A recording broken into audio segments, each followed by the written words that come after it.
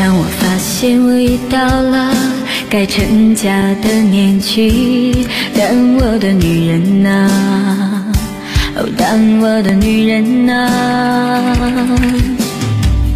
当我习惯把实话都变成了童话，那我的单纯啊，那我的单纯啊。年纪，我已不再将就，有些事情无法强求。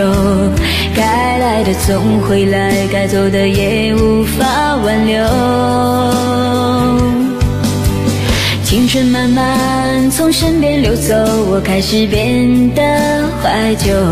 喝光了这杯酒，就再也无法回头。